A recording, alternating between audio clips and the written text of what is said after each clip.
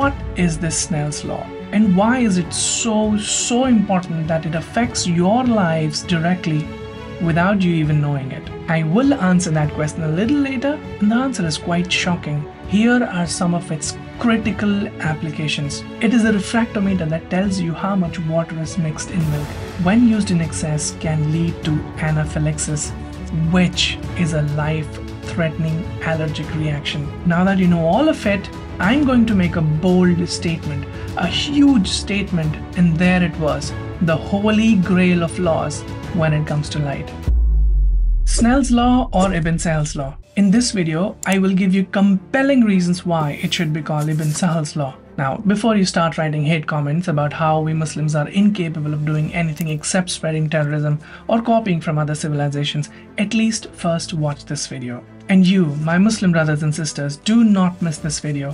I assure you that you will go away with such immense knowledge that you will be willing to spread about Ibn Sahl voluntarily and direct people to this YouTube video. But what is this Snell's law? And why is it so, so important that it affects your lives directly without you even knowing it? It was discovered in 1621 by a Dutch astronomer called Willebrord Snellius, also called Snell.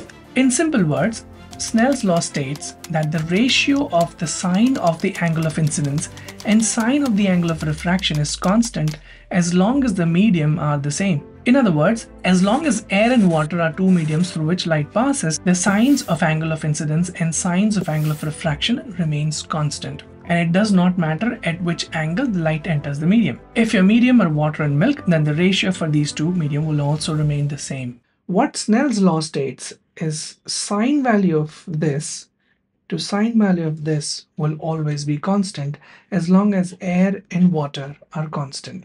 Meaning ratio of sine i to sine r is constant always.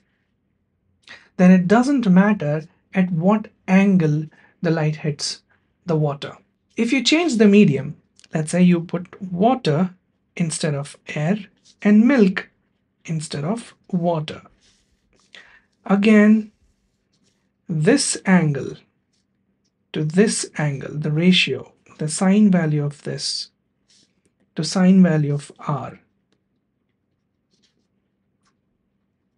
will always remain constant. They would be different from one another because the medium are different.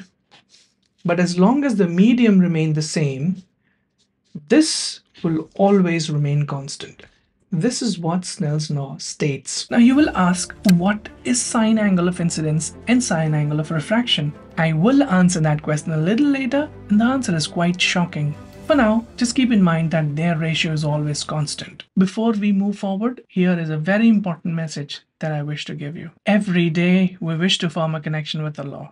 And the best way to do so is by connecting with Quran, the word of Allah itself. So many of us read and are even hafid, mashallah. And then there are so many who want to write Quran one day, but don't know how to do that. This is where our Tracing Quran ebook comes in. With this ebook, you just need to download once you order and you will have Quran for life that you can write on. Also, because our tracing Quran is based on Uthmani Mushaf, it is 100% authentic. So you can write with the peace of mind that you're writing without any mistakes. And as this is an ebook, it comes with 100% flexibility to print whenever you want and how many ever times you want. Should you wish to write one ayah or one surah 10 times, you can do that with our Tracing Quran ebook. Just print it and write it. Needless to say, it makes for a perfect gift for your children and your family alike. Get your copy now and start earning rewards with every letter you write. You can order from the first link in the bio. Now let's get back to the video. Just why is it so, so important? Well, other than the fact that Snell's law is taught in every single school around the world, here are some of its critical applications. Snell's law has incredible use in physics, especially in optics. Your eyeglasses are made using principles of Snell's law. Your contact lenses are made using principles of Snell's law. Your cameras are made using principles of Snell's law. Heck, there's an instrument called refractometer that uses this law to calculate the refractive index of liquids. Refractive index is nothing but the speed of light in vacuum over speed of light in that medium not that important. It is a refractometer that tells you how much water is mixed in milk. It is the refractometer that is used in chemical labs that uses to measure the sugar content in various substances. Food, beverages, medicines, eyeglasses, lenses, even petroleum products. Everywhere, Snell's law of refraction is used. In the beginning of the video I said, your very life depends on it and Snell's law affects you directly even though you don't know. And here is the reason. If we didn't know Snell's law of refraction, you may not have eyeglasses, meaning many of us might naturally turn blind. We wouldn't know the concentration of any particular substance in the medicine. Let me give you a simple example. One of the most common ingredients used in medicines is calcium carbonate, which, if used in excess, can lead to kidney stone and even impair kidney function. Polysorbate 80 is one of the ingredients used in medicines in antibiotics. When used in excess, can lead to anaphylaxis, which is a life threatening allergic reaction. It can happen within seconds or minutes of consuming it. And all of this is measured to the decimal point using Snell's law of refraction. So by now, you know how important Snell's law of refraction is. Now that you know all of it, I'm going to make a bold statement, a huge statement that this law should be called Ibn Sahl's law. And why is that? Because he discovered it in 984 CE, almost 650 years before Snell did. But should we at least look at what Ibn Sahl stated in his law? What Ibn Sahl said is simple. Again, consider two media, air and water.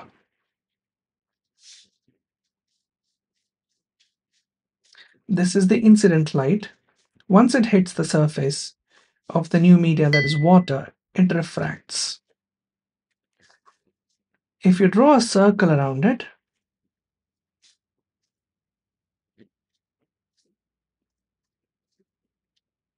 you get these arcs. This is the angle of incidence and this is the angle of refraction. What Greeks said is that the ratio of these are always constant and they determined that by measuring this arc.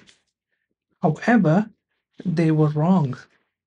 Instead, Ibn Sahl said it is this chord that should be taken into consideration. Let's call it AB, CD. So as per Ibn Sahl, the ratio of AB to CD was always constant as long as the media remained constant.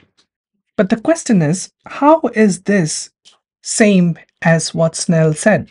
Because remember, Snell's law is sine value of I is upon sine value of R is constant. Theta is nothing but the sine value.